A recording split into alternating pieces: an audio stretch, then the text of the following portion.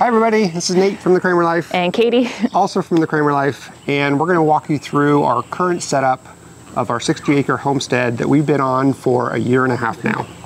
And we're gonna just show you the animals, talk through how we've utilized them so far and what our plans for them are moving forward. We'll start uh, right here. We'll just kind of start right behind you in the carport and talk about how we're storing the feed and then we'll kind of make our way out of the center of our operations which is right here by the house. All right, we are in the carport and this is where we store uh, all of our feed and they're currently sitting on top of a pallet uh, that are stacked on some cinder blocks. Our main way of storing this is not out in the open like this, it's actually inside 50 gallon barrels. That way we can control uh, who, who gets access to it because sometimes the birds will come up here and peck through the bags. um, we want to make sure we control rat and mice and rodent population as well.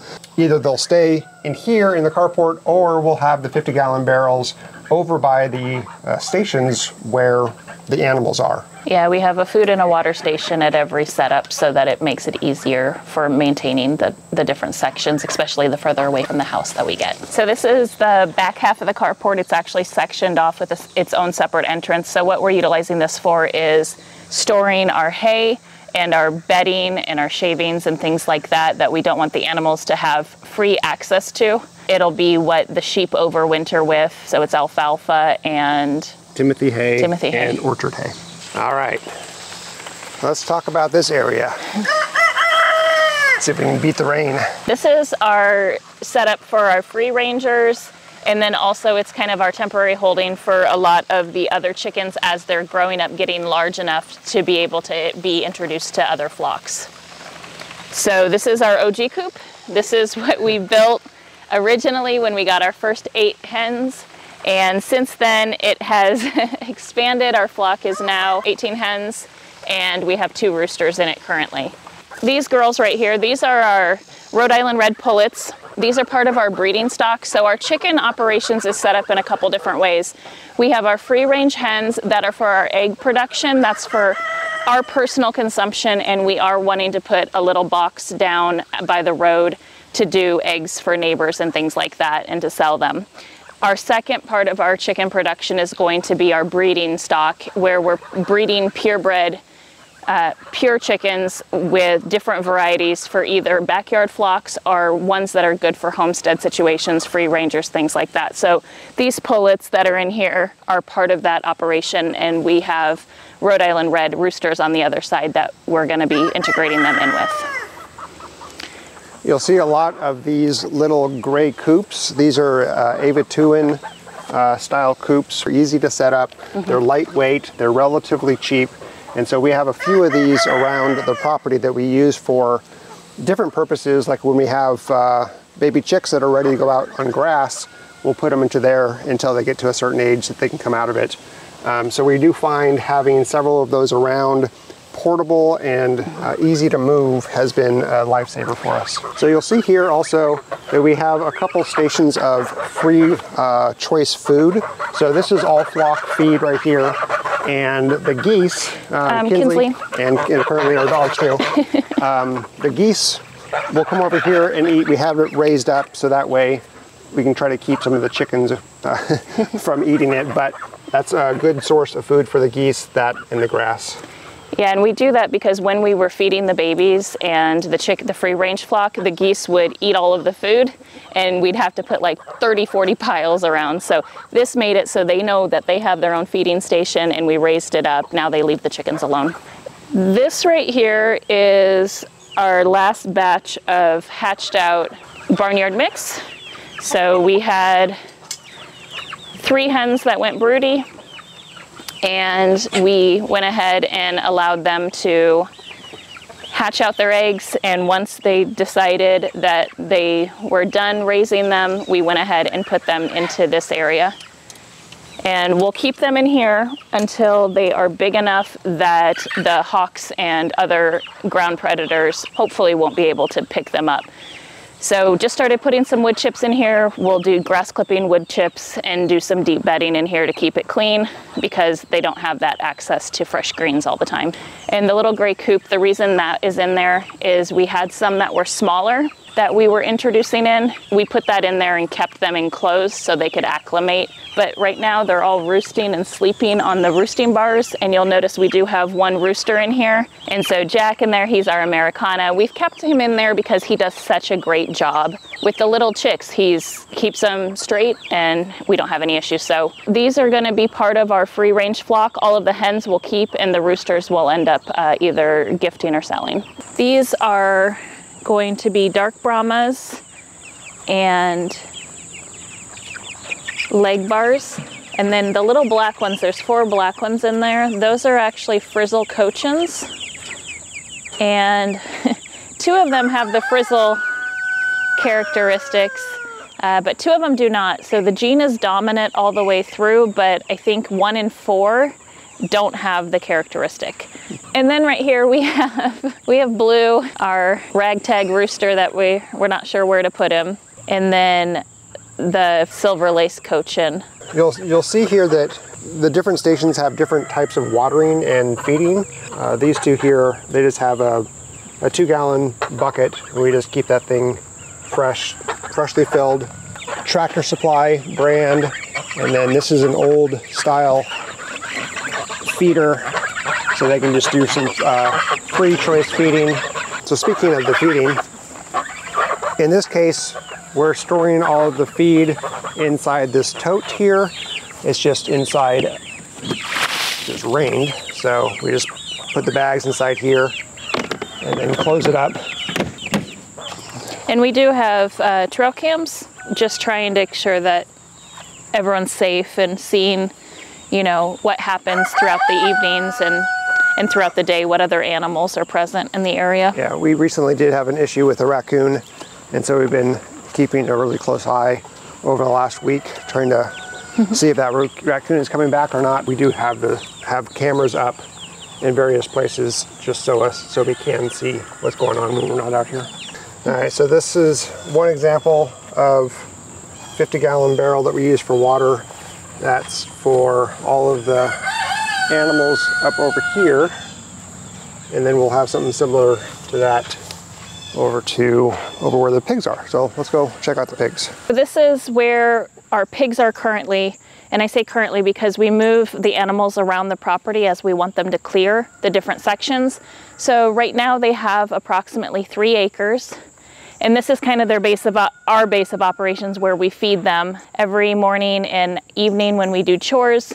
We make sure that they have extra water. This is a extra watering station if we need it. We use that, this is our food. We use the water here to mix the food. And so in this bucket, we'll put the food, we'll add water, and we'll give them kind of a mash every day. And they hear us, so here they come. Hi, Eenie. Hi, buddy. Hello. There's no food for you. it's not feeding time. Hi. So they know this is where we feed them. And so they come up here and they have several wallows like this around the around their areas.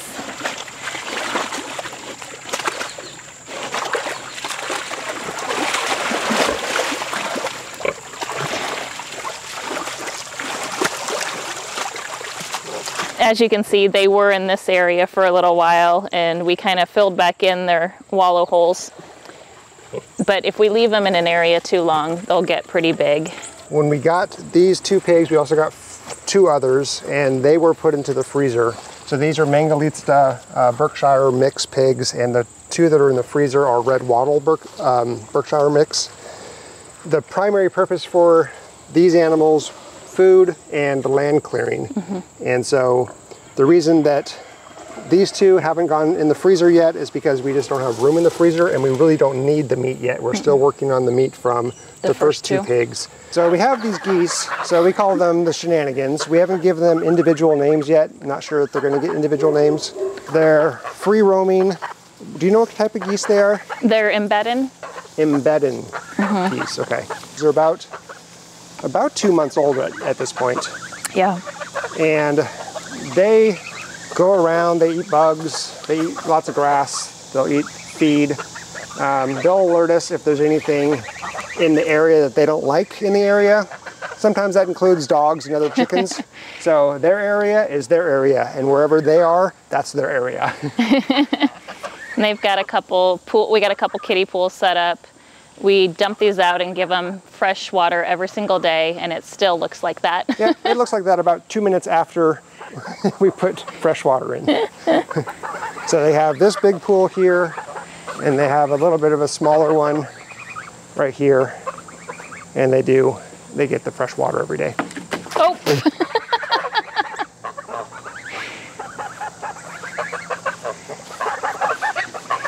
Okay, we're gonna head up uh, to the east side of the house up by the gray barn and show you what we have going on up there. This is our operations up here. The majority of this is going to be our breeding operations. So a lot of the younger, the pullets and the younger hens are down in the other area until they're large enough to be introduced to the roosters. Up here, this is predominantly roosters. We only have seven hens up here and the rest are all roosters. One of the breeding pairs we're gonna do is those Rhode Island red pullets that were down there. We're gonna introduce them to one of these uh, enclosures and they will have a rooster with them. A Rhode Island red rooster. Correct. These are our meat birds and they will be mixed with a Rhode Island red rooster. Currently, the Legbar rooster's in here with them, but his his females were down in the other coop and they're about ready to be introduced to him. The reason this Legbar is currently with the meat girls is because he was being picked on pretty heavily by other roosters that we have around here, so we needed to separate them. So we figured just put him with the meat girls for now and we'll put him with his intended girls once they're of age. We're letting the girls lay on the ground right now. We've tried putting a couple different nesting boxes in there and they just haven't taken to them. I think they're just so big that it's just not comfortable for them to get into the nesting box. So we'll play around and we'll have to do a different design that's more equipped for birds of this size. Yeah, they, they need to have a little bit lower of a perch because they can't jump as high. And when they jump off the perch, we don't want them to hurt themselves because they are heavy birds. So their design will have to stay lower than most. Yeah. Now, the way that we have these chickens housed out here is we have three hoop coops that we built with um, two by fours and cattle panel, chicken wire, and hardware cloth. Each of them have their own run that is fenced in with uh, Premier One chicken netting. Each of them are about the same size because it's the same amount of, of Netting. netting, except for the center one. The center one actually is a little bit bigger because it attaches to the netting from the outside coops, and so it gets a little bit bigger of an area. And since the these meat birds here are actually really good foragers, we give them this this space so they can do some foraging. We found that roosters are not as good foragers as hens are, so they just they don't need as much space. The last hoop coop, what we have in here is we have five roosters. They're all waiting for the hens to be of size. So there's two black Australopes, there's two silver laced cochins, and there's one salmon Faverolle. The silver laced cochins, they're actually going to be separated, and one of the males will go with a silver laced cochin female, and then the other one will go with an assorted uh, group of cochins. So we'll have a kind of unique, different varieties so we get different colors. But the hope is that that silver lacing kind of breeds dominant throughout. And we're hoping to add one of the black Australopes to our free range group. The way that these hoop coops are laid out, they have a front door, and then there's currently just a single roosting bar. It's about two feet or so off the ground. The meat birds one is, is one foot off the ground. We will build nesting boxes into the back once they start laying. And then we'll probably set up some sort of a little area for chicks to be isolated as area becomes more set up for breeding. And to each of the enclosures, we actually have a gate that opens fully. And this is so if we need to get the, the lawnmower in, A wheelbarrow, the wheelbarrow, anything. So when we refresh their deep bedding, um, adding more wood chips or anything like that, you'll notice there's a gate on every single entrance, including going between the hoop coops. and they just clasp back on. Water and food setup is about the same here. Uh, we have this 50 gallon barrel that's holding The dry food. the feed. And we keep the feed in their bags uh, just because there's this one, because there's two different types of feed. There's the layer mash and then there's Scratch. uh, scratch grain for the roosters. The layer mash are for the meat birds that are laying right now. and we mix it up very similar to how we did the pigs. We'll put the layer mash in here. We have the water right here, and we'll mix it up fresh daily and just get make enough to feed them for the day. The reason we do that is we found that if we mix up too much, the layer mash, it starts to ferment pretty quickly. So Yeah, and ferment past the point past of the point of being good. of being a beneficial fermentation. So we just we try to do a, a day, maybe two days worth at a Yeah. time at, at most. Um, also, you'll notice fairly close to the hoop coops, we have mulch over here as well, and we use this for um, bedding purposes for the animals. So we can bring bedding over with a pitchfork, bring a wheelbarrow, whatever, and bring it in and give them some um, some heavy bedding, and they can scratch that up, and we can use it to to make compost. This little guy doesn't like to stay in his coop. He lives with these ones. There's two other ones in here, but he flies out.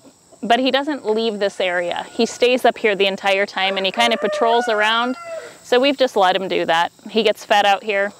Yep, he prefers it. He likes to wander around the the whole The whole- perimeter. Yep. he really, really likes. He's very interested in the meat birds, so he'll probably end up being the rooster for the meat birds. Yeah. This netting here, Premier One has three, I think three styles of chicken netting. One that's highly portable that you would move on a daily basis, and then one that's semi-permanent. And we're using the semi-permanent. Actually, this one is a highly portable one, um, just because we needed an extra one for the The Rhode Islands. for the Rhode Island roosters. But these here, for the three coops that are going to stay here, these are the uh, semi-permanent stationary coops or netting because they're extra thick. You can pound them into the ground and they weigh a lot more. And so it's really hard to move them on a daily basis and they're not meant for that. They're meant to have almost as a permanent netting system. Okay, let's continue on. We're gonna go show you what we're doing with the sheep right now, and then show you um, some other stuff we have going on over here as we expand our operations and expand our usable pasture. Hi, Winnie boy. So we haven't mentioned our livestock guardian dogs yet. Uh, they're more like farm guardian dogs. They don't guard just the livestock; they protect the entire farm. So this is Winston. He is a Great Pyrenees. He's our first livestock guardian slash homestead guardian dog. We don't keep him with the animals specifically. We let him kind of roam around for a couple of reasons. One, we move the animals around so much, and we also have the free range chickens. Uh, this guy, we got him I think it was May May of last last year. year. Yeah. So he's well a little over a year old, but he is really coming into his own and doing an excellent job uh, protecting and guarding the homestead as well as the animals. He loves being around the sheep.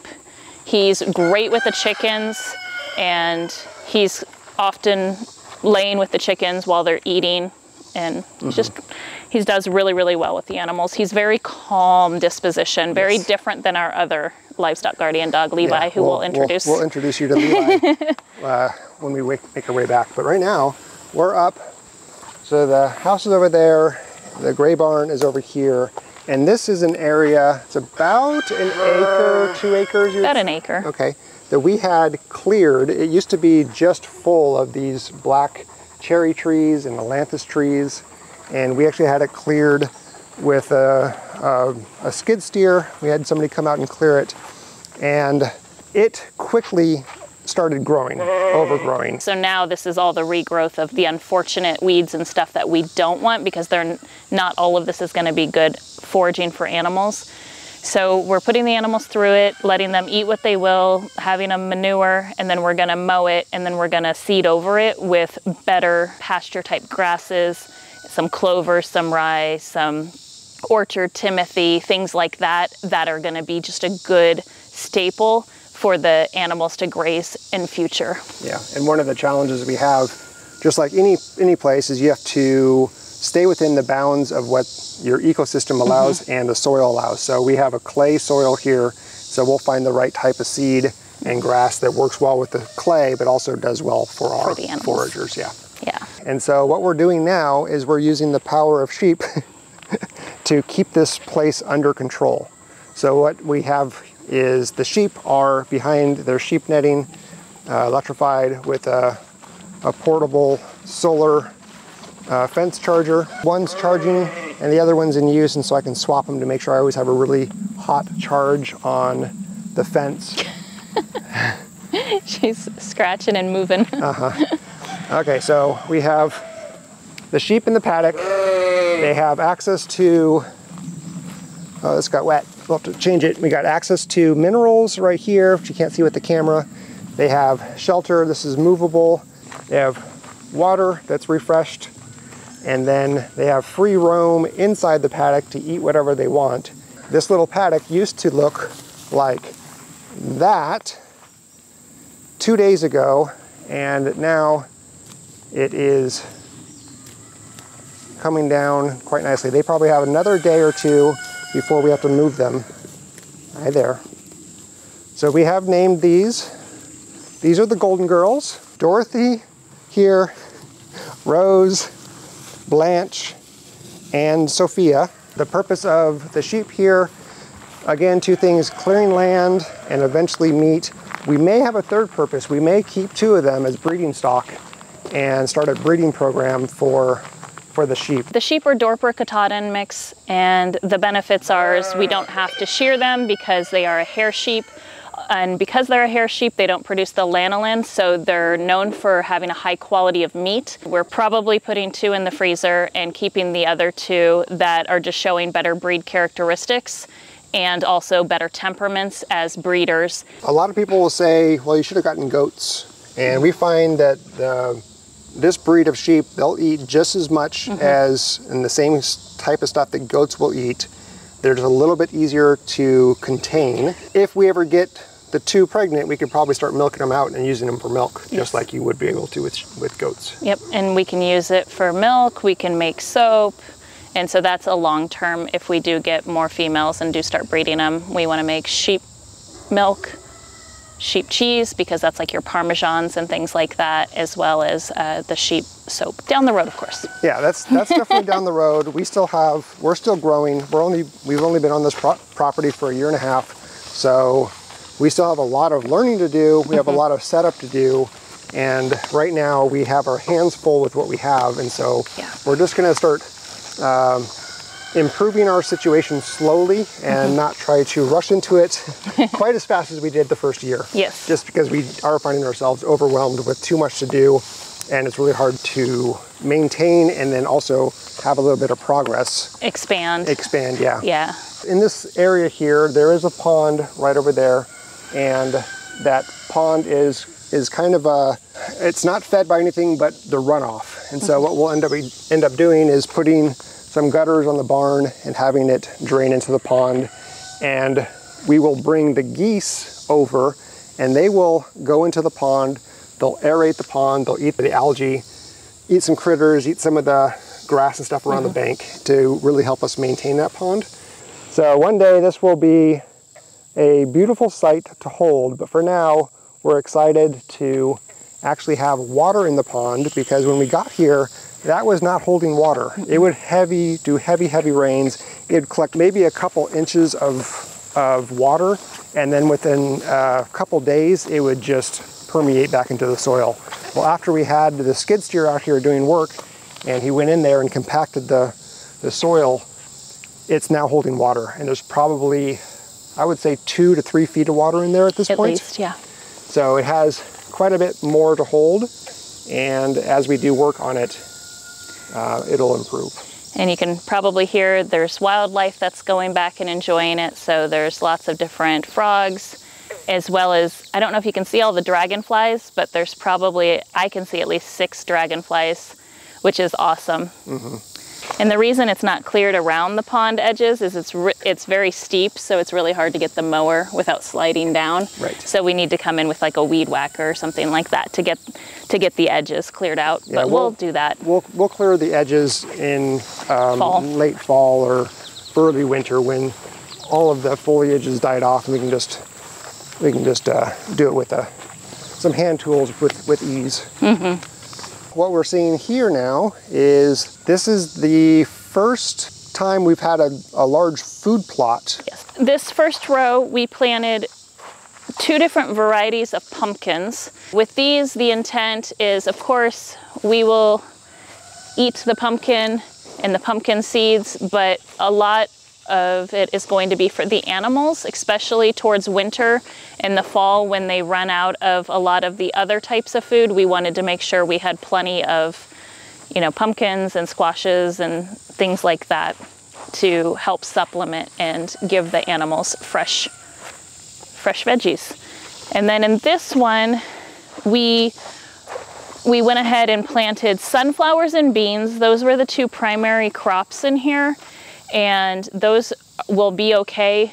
We did an experiment where we were about two weeks late planting the melons for the last date that you should plant them in our region. And so the melons most likely are going to struggle. We think we'll get them almost to being fully mature. So our thought is we'll probably build some type of hoop over it with some plastic to keep it in case there's a freeze before we're able to harvest them. And we planted these just a few days ago, Yeah. so we're not seeing any sort of growth yet, which is fine. And to keep the stuff from growing back up again, we just put down tarps. But we basically just want to try to minimize how many weeds there are between the pumpkin runners. So we're going to train the pumpkins to go different directions so that way they can spread out and it'll be easy for us to find the pumpkins because they'll be on top of the tarp and not inside a bunch of weeds. We don't know where we want to put permanent roots yet, and so a lot of the stuff that we're doing uh, is temporary by design to allow us to be portable, to move, and uh, once we figure out where water runs during heavy rains, where the heavy winds hit during uh, wind season, um, or actually all year round we get heavy winds, then we'll know better where to put roots and establish permanency. So for now, we're just adding nutrients into the soil with the animals and then also with the gardening. All right, let's head back. We have two more garden plots to show you, and then we'll wrap it up. This is the second year we've used this little strip. We had one of our neighbors come and just use his tractor and Yeah. just till up two rows for us. We decided to put raised beds on this side this year. We last year this was all just tilled and we only used it really for potatoes last year. So this year we have cucumbers and beets and radishes and peas and cilantro all kind of in the different raised beds. And we found that these screens, while they're not the most attractive, they work excellent to help keeping your cilantro from bolting. And we planted a lot of cilantro because I love cilantro, but I need to get out here and harvest it. Yeah, we use those screens. We actually have three more screens laying down right there. We use them up here for the cucumbers and for the beets in their early growing stages because it is east facing and it's just getting, sorry, it's west facing and it's just getting tons of sun throughout the day. So those are struggling without the shade. We're doing the same thing with the screen for our, our peas. Mm-hmm. They like more shade. And the radishes, these are now uh, overdue. We need to replant, but the radishes were fine in direct sun. Yeah, and this is our potatoes. This was our first succession of potatoes in the mounds directly behind this raised bed are the second succession of potatoes, which are not They're not coming up. they're not coming up as uh, strong. yeah. We did an experiment that I think we waited a little too long in between the rows of potatoes. We did plant lettuces, but I think we waited until the potatoes were leaves were a little too big so that they didn't get enough sun in the early stages. So we'll try that again probably next year and plant the lettuces a little sooner because the whole intent of doing something like that is to have the lettuces be shaded by the potato plants so that they don't bolt as quickly and you get a better harvest. Yeah, and I didn't know that we were going to be planting lettuce between the rows. So the rows of potatoes are pretty close to each other. Yeah. So the lettuce really didn't have that much of a chance. I would have doubled the distance between the potato hills to allow the lettuce to come up. Yeah. And this one here, we just have potato cuts directly on the ground, and then I mounted compost on top of it. And this one, we have potato seed cuts on some ground cover and then mounded with compost. And here you'll see we have uh, just a trash can full of water, and I'll come in here with a waterer and use just a hand waterer and use it to water this on days where we don't have rain. That works out really well. And we're just a few feet from the house, we're not very far from it, so it's easy to stretch a hose and fill up that. And then our final uh, garden is we have two raised beds. We actually have uh, four, Four. raised beds, but those are just just getting started. We haven't planted anything in them, but we have two raised beds that we put in front of the house here. And these are going to be kitchen garden. So the the thought and idea behind this is to put herbs and things that you would, you know, want to grab for a quick dinner or, you know, that you would want to use with your kitchen. So currently it's lettuces, so we've got chard. We've got a lot of basil growing in here. We just planted um, some pepper plants as well. And then we do have one basil and one chive that are growing. And then in the the other two, once we get those planted, we'll probably have tomatoes in the heart-shaped one, where we'll have some tomatoes around, and then likely we'll plant some more herbs. Maybe, you know, some rosemary and some thyme and some things like that. Let's go check out the brooder that we have inside. Oh yeah. the first stage of the chickens. this is the brooder box. This is currently where we have 10 black Australorp hens, pullets, and we have five black cochins. And then the little yellow one in there is the surprise chick that comes with every order. So these little ones will be in here for about another five or six days, and then they will go out to one of those gray temporary coops, and they'll be out on grass. So we are now on the north side of the house, which is the back side of the house. And we processed a couple chickens, some roosters the other day, and we have, haven't put away all this stuff yet, so I wanted to show it to you. So we have our plucker, we have our scalder, we have a couple barrels for ice bath tables and stuff. This stuff is out for the processing. This is where we process our chickens. And we process them here because we have easy access to water and power inside the basement area of the back of the house. So here's access to water. Actually, this is the same spigot that we use for the free range chicken area. And then we have access to power down here. And then we house our uh, meat freezers here. So we have, I think we have all the pigs in here and we have the chickens in there. And then we store all of our equipment and stuff right down here. It stays a little bit cooler, stays a little bit cleaner and out of the weather. And so here we have Levi. He's the newest member of the family in terms of our dog family. Yep.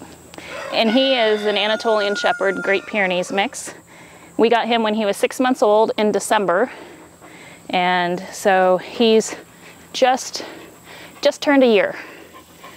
A little over a year. So he's a little bit more hyper, but he is an excellent aerial predator dog, meaning he detects them and he's very keen on protecting the chickens. He's a sweet boy though, and they get along really, really well. Yeah, they're they're best of friends. But definitely this boy is the boss. Yes. He is definitely the boss. Yep. Which is good because he has the more calm demeanor. Yeah, exactly. So, Yeah. Yeah. So for a year and a half and for a couple newbies, I think we've done a pretty spectacular job Yeah. at getting the stuff set up and functioning and having what we have. I mean, it's a lot to learn. I mean, there's so much to learn when Yep. it comes to raising animals, raising your own food, clearing land, fixing a house, all the things that we've been doing in the last year and a half. Processing your own food Yep. on property. Yeah. yeah, there's just there's a lot, and I was inspired by a bunch of YouTube videos. You grew up with this stuff with your with your grandfather, Mm-hmm. and we both really just wanted to give this a try. And so, even though there's been many, many, many days of frustration and hardship, and it's constant work, there's no time off. Yep. Uh, it's definitely rewarding. It's been it's been a journey. So, looking forward to seeing what the next year and a half looks like. Yep. But until then, thanks for watching. See you on the next one. Yep. Take care. Bye.